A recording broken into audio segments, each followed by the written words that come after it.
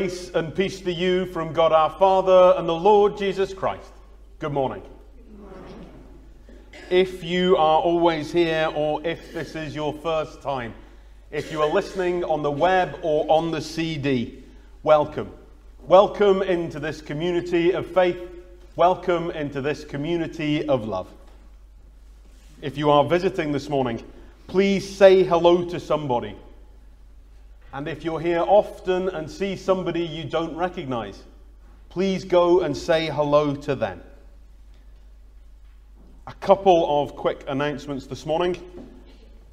The first one is that the Saturday morning session meeting, that everyone I'm sure is looking forward to who's on the session, will take place on Saturday the 20th of August from 9.30 until 1.30. If we are quick about our business, we shall finish and get away sooner than that. But we've got four hours to discuss the important things. Important things that are also going on on Saturday mornings at the moment are the Saturday morning summer coffee mornings. A wonderful time to come and share in the sunshine or in the not sunshine and have a cup of coffee and a biscuit and a bit of cake and talk together a wonderful thing in the Chalmers Hall. I encourage everybody to come and have a bit of time together at one of those coffee mornings. And this morning, as always, there will be tea and coffee and biscuits and chat and laughter and all those sorts of things in the Chalmers suite after the service, which is that way. So if it's raining heavily, go that way. If it's not, go outside. Um, follow people if you don't know where you're going. Let us take a moment to still ourselves as we come to worship Almighty God.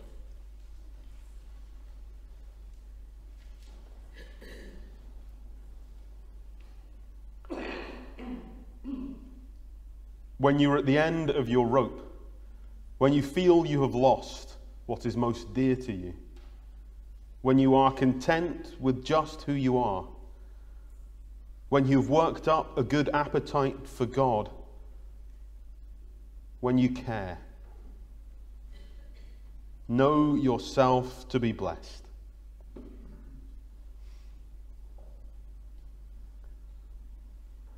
We gather in this place. We gather in the quiet. We gather to learn. We gather to praise we stand as we are able, singing together hymn 336 Christ is our light, the bright and morning star.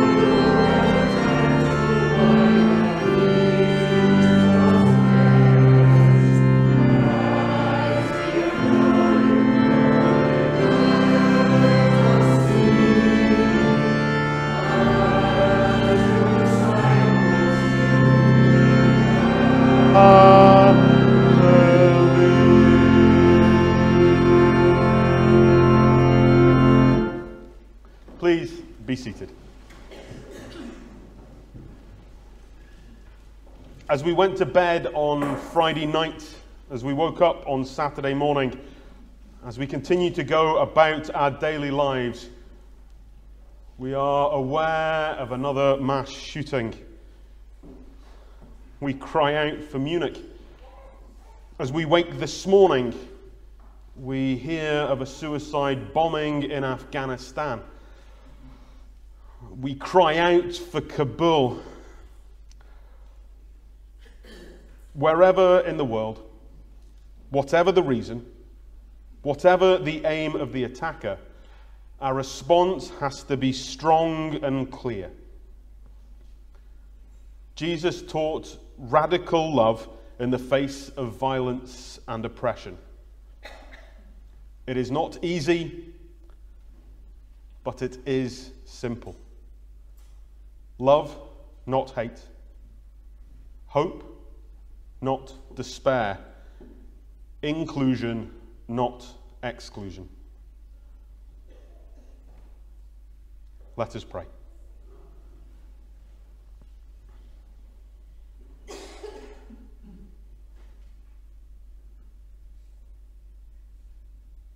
Lord, as we look into the world, we sometimes don't know what to pray.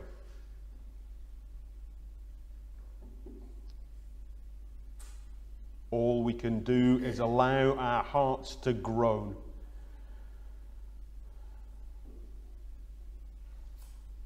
Tears to fall from our eyes.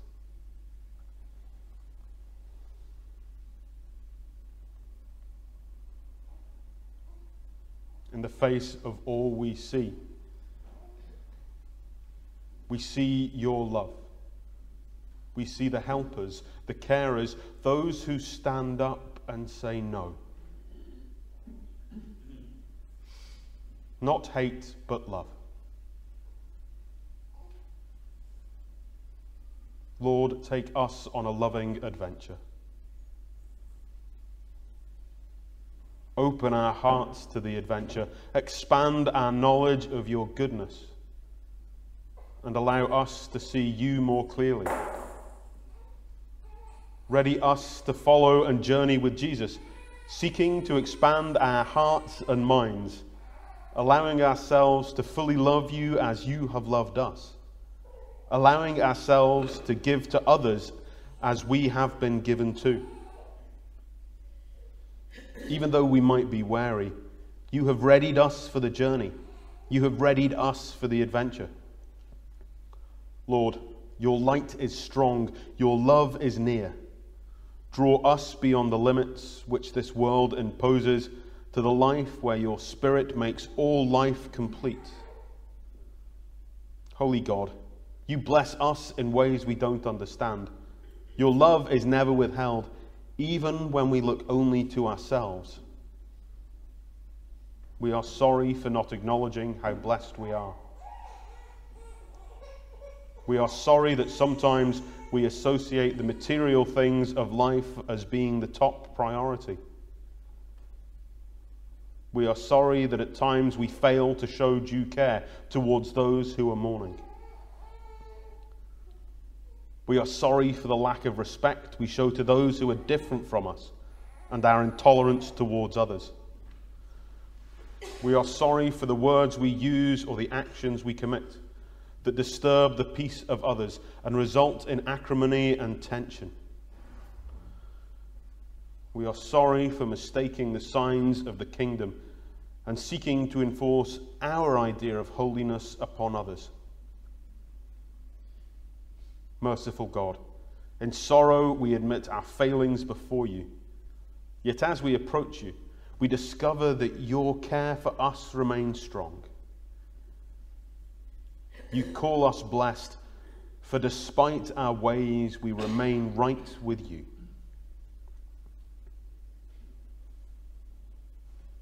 And we now pray the words that Jesus taught, which can be found in the order of service. Our Father, who art in heaven, hallowed be thy name. Thy kingdom come, thy will be done on earth as it is in heaven. Give us this day our daily bread, and forgive us our debtors as we forgive our debtors. and lead us not into temptation, but deliver us from evil. For thine is the kingdom, the power, and the glory forever. Amen.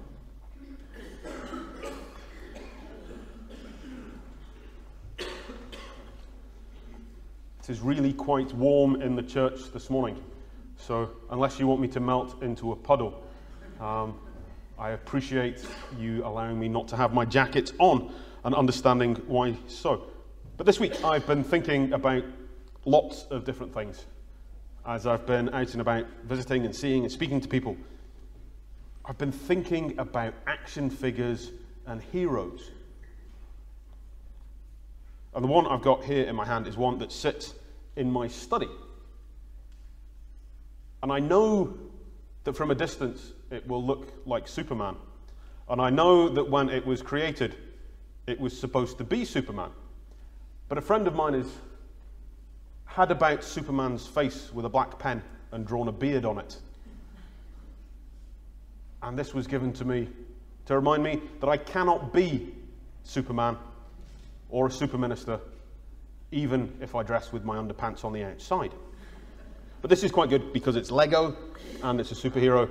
And if you lift his foot up, and you might be able to see, and you press his front, his foot lights up. It's a terrible torch. You can't see anything with it, but it's quite good fun. But was thinking about superheroes. I'm thinking about what they do. They're, they're always kind of somebody who's in some way quite strong or maybe quite quick. So the Hulk would be somebody who was very strong, and the Flash would be very quick. They might have lots of fancy gadgets like Batman. They might come from somewhere and have superpowers, according to what we have, like Superman. And all these people, we think, oh, it could be fun to have all those superpowers and be like them. That would make us great. But something when you're looking at that, and looking at all these kind of superheroes, is they're all this kind of distant thing that's maybe if we think enough about it, we realize we're not quite like them. But in the eyes of God, and when God looks at what makes people super, it's not being the quickest or having all the money to buy the gadgets or having been born somewhere so you have some sort of innate superpower or being very strong. It's not these things. We're going to have a reading from the Gospel according to St. Matthew um, in a short while, and it's from the Sermon on the Mount. And the reading is called the Beatitudes. And Jesus talks about who is blessed, who is right with God. And it's not the strongest or the fastest or the richest. It's those who are hurting, those who comfort those who hurt, those who try to do the very best that they can. And in God's eyes and in my eyes, they are the real superheroes. Those who love people for who they are. Those who go out of their way to help other people. Those who just know that life is hard because sometimes life is just hard and that's okay. So when we think about who heroes are, whilst it might be nice to come in a fancy box and have a beard painted on. In God's eyes, we're all heroes anyway. We're going to sing together. We're going to sing about doing the heroic work of God in a wonderful, simple song. We stand as we are able, singing together hymn 351 Jesus' hands were kind hands.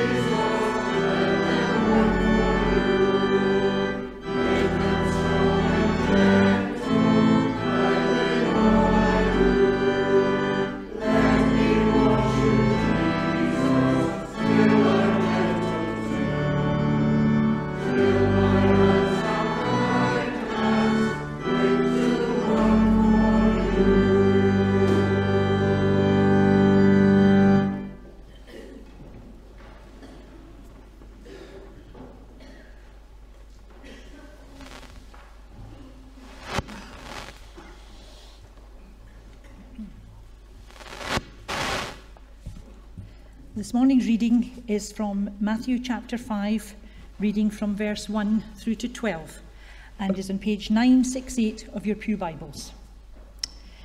Now, when Jesus saw the crowds, he went up on a mountainside and sat down.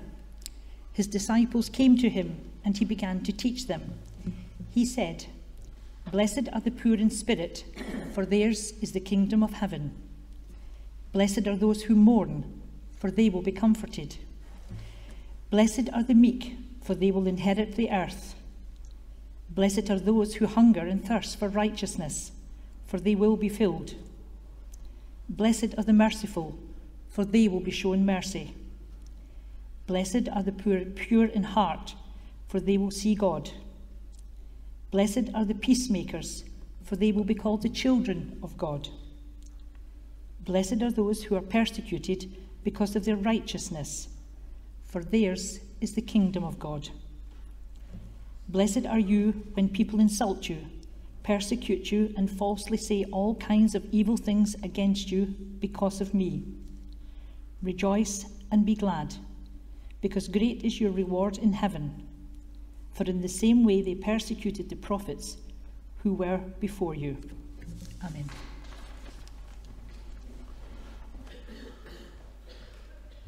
We stand together as we are able, singing hymn 21 Lord, teach me all your ways.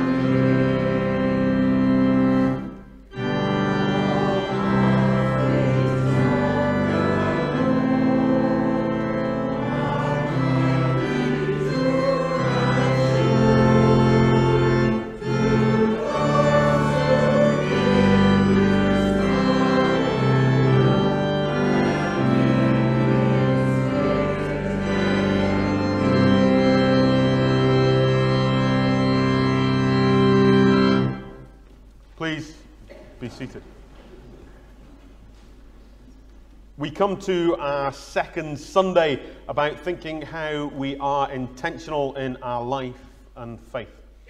Last week, we were alive in the story of creation, finding our part in all that God has made.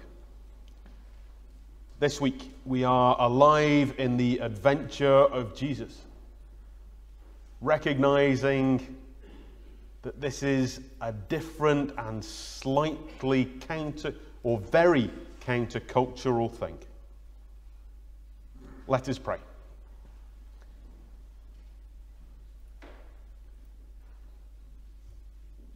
Heavenly Father,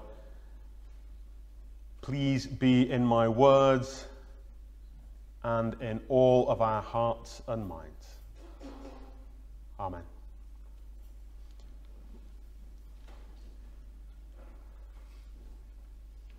Jean Vanier, the founder of the L'Arche Community, which is a community based in the Christian faith, although it's open to all faiths and none. The L'Arche community seeks to provide care and belonging to those with learning difficulties. Jean Vanier has said, People may come to our communities because they want to serve the poor. They will only stay once they have discovered that they themselves are poor. And then they discover something extraordinary that Jesus came to bring the good news to the poor, not to those who serve the poor. I think we can only truly experience the presence of God, meet Jesus, receive the good news in and through our own poverty because the kingdom of God belongs to the poor, the poor in spirit, the poor who are crying out for love.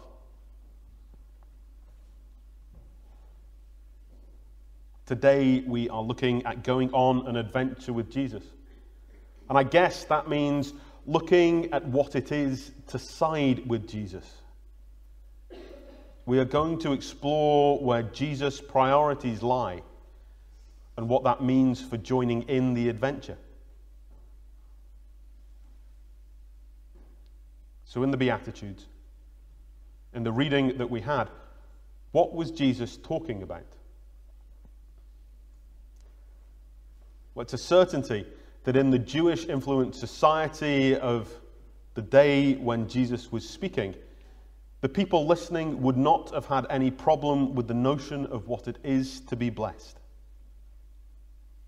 They would get the fact that Jesus was speaking about not a state of happiness correlating to worldly circumstances, a happiness that is fleeting and fickle, but instead his words indicate a description of the spiritual attitude and condition of people who are right with God. The problem and challenge for the people listening and for us today is the categories of people listed by Jesus as those who find it easiest to be right with God. It's a very clear and a very difficult countercultural list. What we have here is Jesus painting a picture that is paradoxical to our own way of assessing life. We assume certain circumstances of life lead to a better experience of light, life and a far greater sense of being blessed. The Beatitudes subvert these assumptions and make us ponder our own aspirations. They are aimed at making us think about how we live out our life, about the road we walk down. It is clear that there is nothing glamorous in this list of circumstances within which a person is blessed. It is good and it is encouraging that those who find themselves living these life experiences are made right with God and will know themselves to be blessed. For these people, for the folk who find life hard, we are grateful that Jesus comes with a gospel of good news, bringing hope and love and a sense of worth. But for some of us sitting here, whose experience of life from a worldly point is generally what we might consider better than the experiences of the people referred to here. How easy is it if you live what could be called a comfortable life to be made right with God? In the context of what Jesus is saying, is it possible for a rich man, a bold and confident person, a happily married woman, a soldier, a well liked person, is it possible for any of them to be blessed?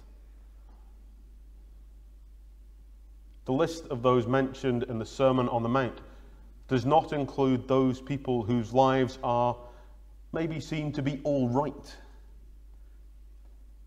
The easiest thing for us to do is to satisfy ourselves by saying Jesus only picked out a few groups for the inferred state of being blessed. And there must be many more people and groups who will find themselves right with God. Jesus just gave a short list, but that's not all of it. That's the easy understanding. But the text asks, asks us not to accept an easy understanding. Perhaps as we ponder these things, we are meant to stretch our minds and assess our aspirations and assumptions of around where blessings are found.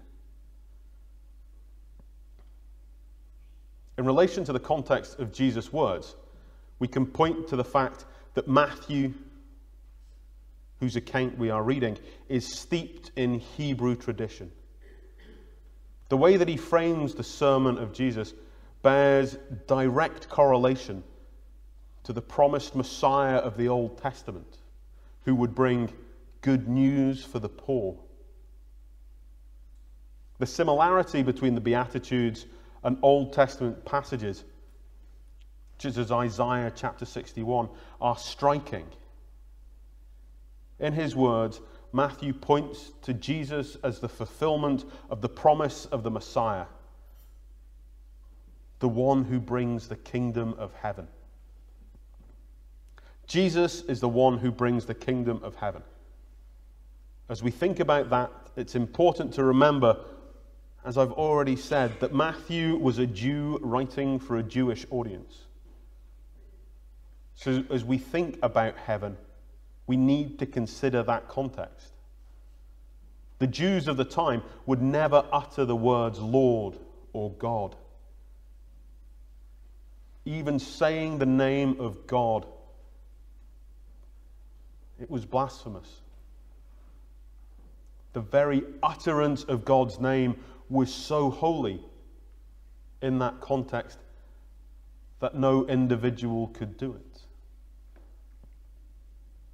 It's in light of that, as well as looking at the other Gospels, we can see that when Matthew speaks about the kingdom of heaven, He's speaking about the kingdom of God. And this isn't some distant, far off place where we aspire to go at the end of times. It's not where all the people named and the verses we've read today are to be found. No, the kingdom of heaven, the kingdom of God, is here on earth now. It is to be found amongst all God's people. And as this is now, that means it's part of being alive in Jesus. Jesus is telling us that blessed are the poor in spirit, for theirs is the kingdom of heaven. Theirs is the kingdom of God. Blessed are those who mourn, for they are comforted. Blessed are the meek, for they will inherit the earth. Blessed are those who hunger and thirst for righteousness, for they will be fulfilled. Blessed are for the merciful, for they will receive mercy. Blessed are the pure in heart, for they will see God. Blessed are the peacemakers, for they will be called children of God. Blessed are those who are persecuted for righteousness' sake, for theirs is the kingdom of, of heaven. Jesus is saying, being part of God's kingdom is turning what we know of the world on its head.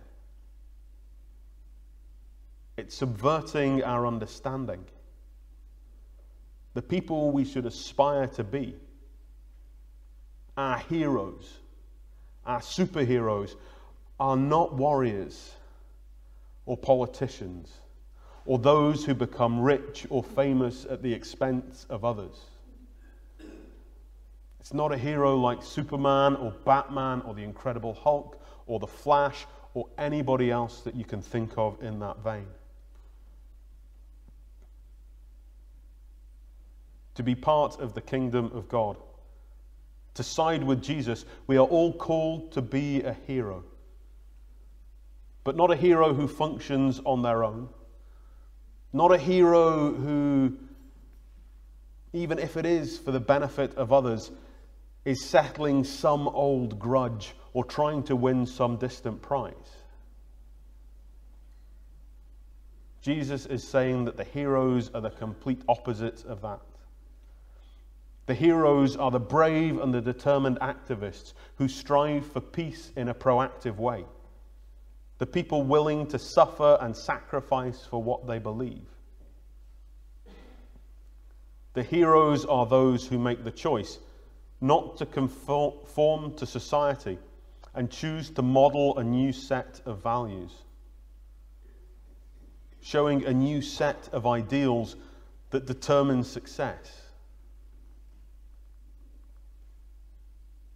The heroes that Jesus talks about do not do this as individuals. This all happens within community. None of these activities can happen in isolation. They are all community actions. Mourning, grieving, hurting.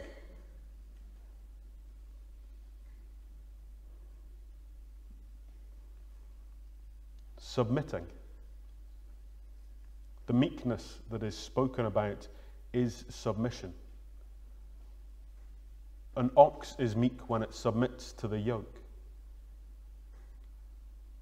The yoke of Christ is easy. We submit. In seeking justice, in being merciful, in actively making peace.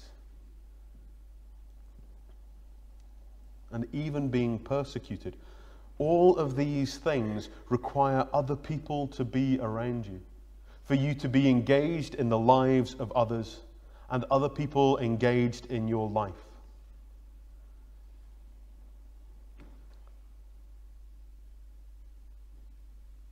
So, how do we respond to this? I suppose it comes down to how we respond to these questions. How do we feel about this countercultural hero that Jesus is calling us all to be? How do we fit our lives? And how do our lives fit into this new model of living?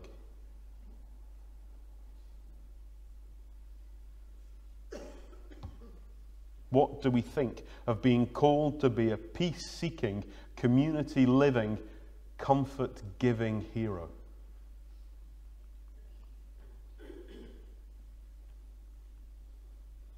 Something that I find scary in all of this is that this is the very start of world changing ideas.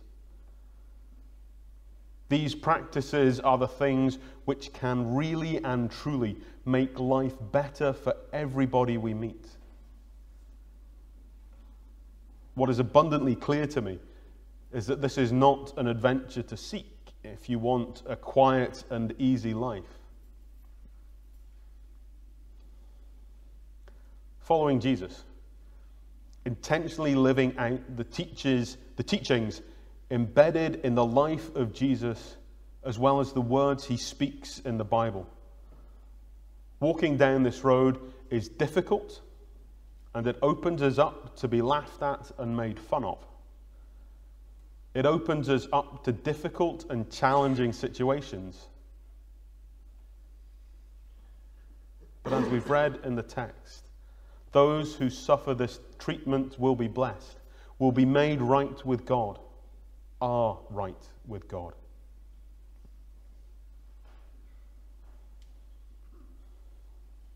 As we consider these words, we will find a multitude of different angles by which to interpret these 12 verses and apply conclusions to our own lives, worlds, and discipleship. In many ways, that's the beauty and difficulty of biblical texts. But we can explore the words in a way that resonates with a specific thought we have in our own minds. As we prise open a particular aspect of the text, we discover a window to something important for us to discover. Sometimes the window allows us to see a big picture, some broad understanding, a broad action we must take. Sometimes the window feels very small. But it always reveals something that helps us on our journey, to help us as we try to intentionally live out our Christian faith.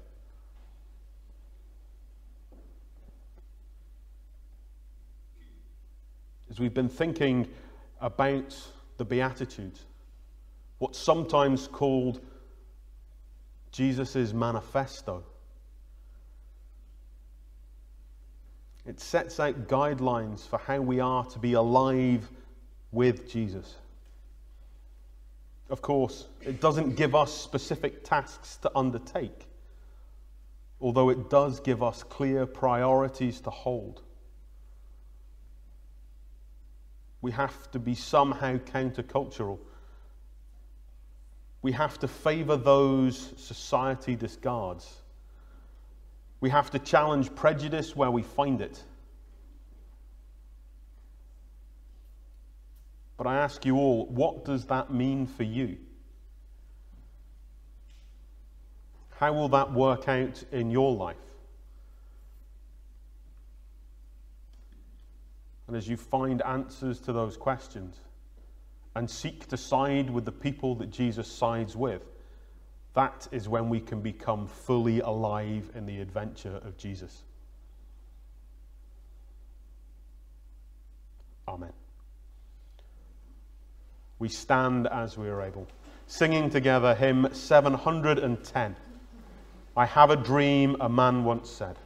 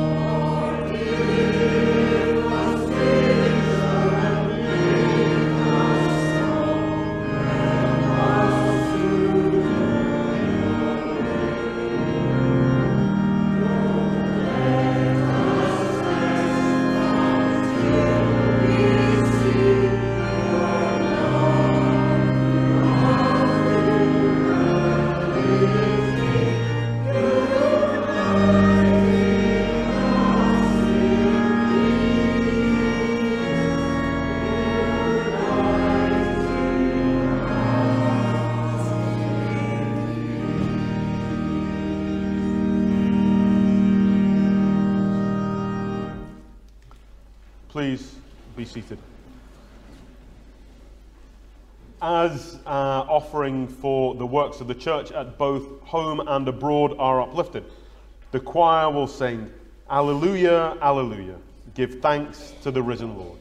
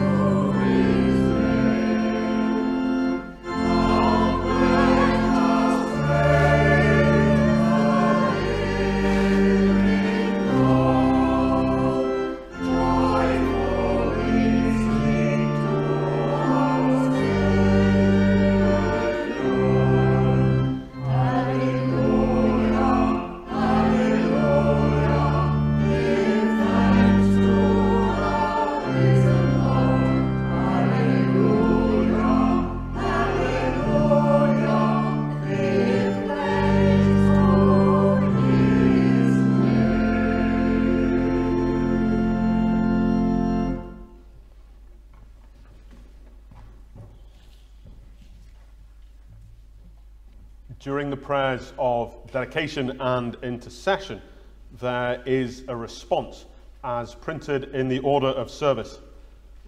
So when I say beautiful people, you respond, children of God, blessed are those whom God loves. Let us pray.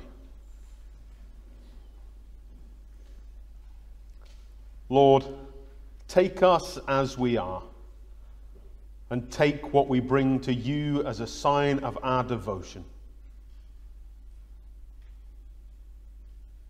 We are blessed. We are the lucky ones. During the different phases of our lives and amidst the different challenges, you bless us in providing us with what we need friendship, security, wisdom, comfort, love many different expressions of blessing that are appropriate for our particular needs. Thank you, Lord. These gifts we bring are yours. Bless them and bless us. Lord, your words are challenging, yet resonate with love, openness, and acceptance. We consider the world you gave us and we seek to look on it as through your eyes. Your eyes lead us to see a new vision of the world that allows us to see people as they really are and recognize that despite the hardships of some people's existence, they are blessed. Beautiful people, children of God, blessed are those whom God loves. Today we pray for those who are financially poor. They need our help. They need fairer policies and a more equitable sharing. beautiful people, children of God, blessed are those whom God loves. We pray for those who cope with loneliness and grief. They need our comfort and they need time to heal. Beautiful people, children of God, blessed are those whom God loves. We pray for those who feel they are timid and who are sometimes overlooked. They need our respect and they need help for their voice to be heard. Beautiful people, children of God, blessed are those whom God loves. We pray for those who are so selfless in their determination to work for a better world and show mercy to others that they sometimes forget to look after themselves.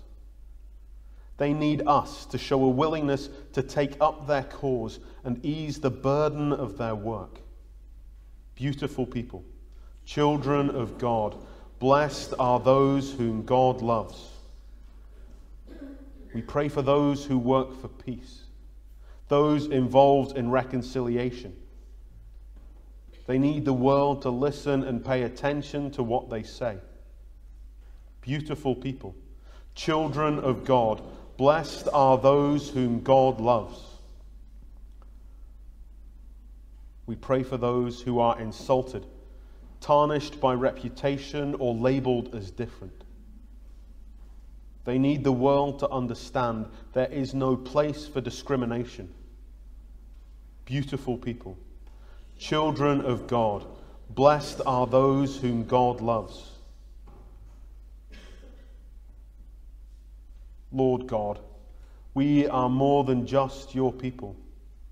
We are blessed, for you call us to discipleship. You make us right with you. Thanks be to God. Amen.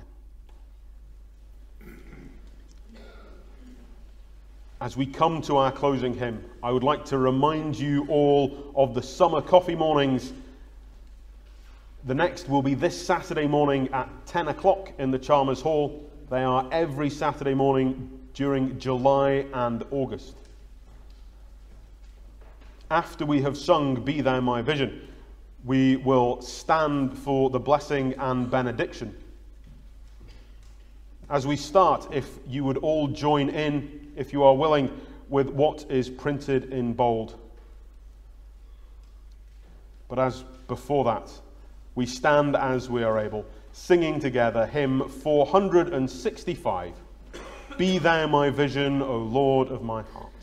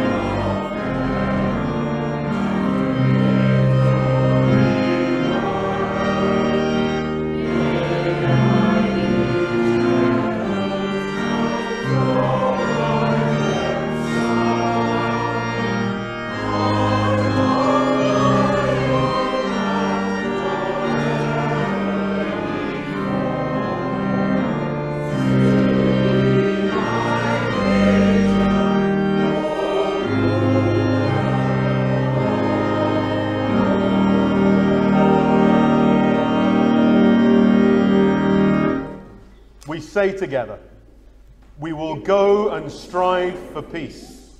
We will go and bring folks comfort. We will go and challenge prejudice. We will go live and love for God. Go, you are blessed, and as you go, may the peace of Christ go with you wherever he may send you. May he guide you through the wilderness and protect you through the storms. May he bring you home rejoicing at the wonders he has shown you. May he bring you home rejoicing once more into his arms.